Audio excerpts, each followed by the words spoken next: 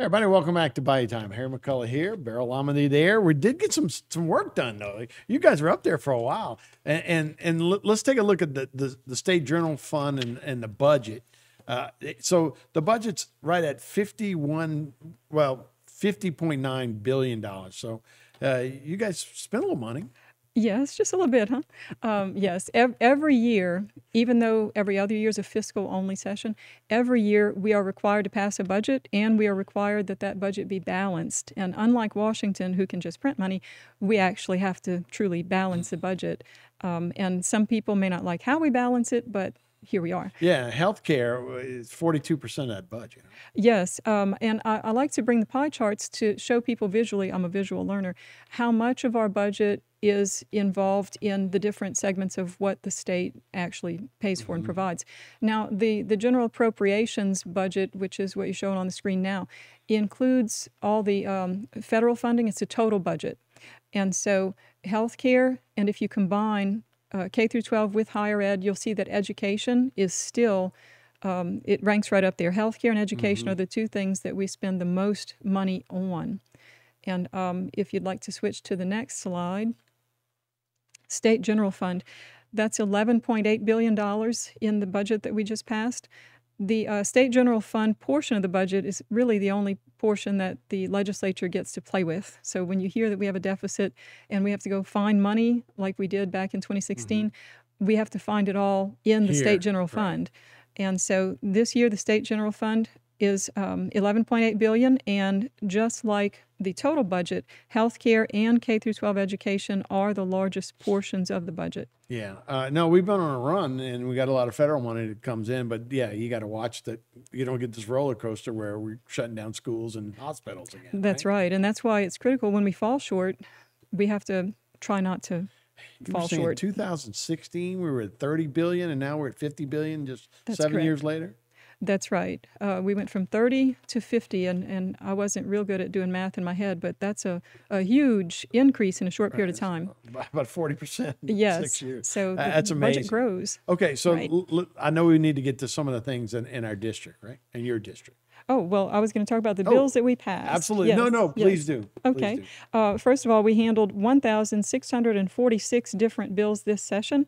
894 were regular bills, 29 were constitution, constitutional amendments, but don't worry, only eight of those passed. So we'll see those on the ballot this fall.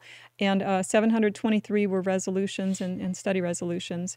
And so um, let me cover the constitutional amendments first, since that's what we will see on the ballot in the fall. Um, we have one that restricts a nonprofit's eligibility for property tax exemptions when the residential property is found to be, be um, an endangerment to public health and safety. We have one that requires the legislature to appropriate no less than 25% of non recurring state revenues um, for application to certain state retirement system unfunded accrued liability. That's the retirement debt that we always talk about. We call it the UAL. We have one that prohibits funding elections with money from foreign governments or non governmental sources. You might uh, remember we talked issue? about that one. Uh, yes, so that was the um, the the no Soros funding Right, bill, right.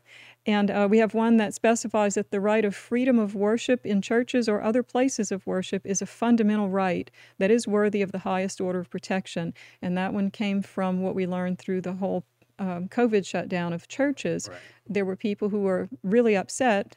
I was one that um, churches were not allowed to meet in person, but yet you could still go to Protests. grocery stores, Oh, Home right. Depot, Yeah. um, abortion clinics.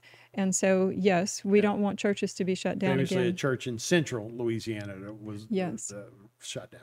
Yes, uh, Pastor Tony Spell. Yes, and that that went through the whole process, and the courts found that yes, he should not have been shut down. So that's good. Um, and then we'll have some more. Uh, those are going to be in October. In November, we have one that clarifies the timing of gubernatorial actions on a bill, and the return of a vetoed bill to the legislature is based upon the session that the bill comes from. That's a, a minor change.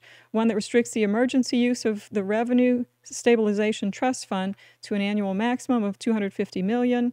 One that authorizes the local governing authority of each parish to provide a limited ad valorem tax exemption for qualified first responders, and one that repeals the provisions of the Constitution which create special funds within the state treasury, and they have a list of those funds. And those funds are funds that are not being used, so we're not getting rid of funds that are in use. And then we have a whole slew of, of great bills that passed on a variety of different topics. And let me see. Um, we, one of my favorite, the No Patient Left Alone law. Right. Uh, this one came also from what From we COVID experienced through the COVID lockdowns, where you could not visit your loved one in a in a hospital or a nursing home, and we had way too many people die without a loved one present. Right. And so there's a bill that we passed that will try to make it so that that never happens again. And so I'm so glad that that one passed.